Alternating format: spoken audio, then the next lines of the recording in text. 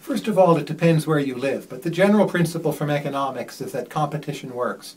So look for clusters of restaurants that have to compete against each other. You then know that if a place has survived, it's going to be a good bargain with excellent quality. If you ask me about the area where we live, Washington, D.C., Northern Virginia, our three best clusters are Ethiopian, both on 9th Street and in West Alexandria, the Vietnamese cluster in Falls Church at Eden Center, and the Korean cluster in Annandale. You can go to any of those areas and eat literally in any of those restaurants, and you will have excellent food, almost always for a reasonable price. Take that same logic, apply it to wherever you're at, look for competition, look for informed demanders, and you're likely to eat well. But for this area, I would say Korean, Vietnamese, Ethiopian are the underrated and highly excellent cuisines.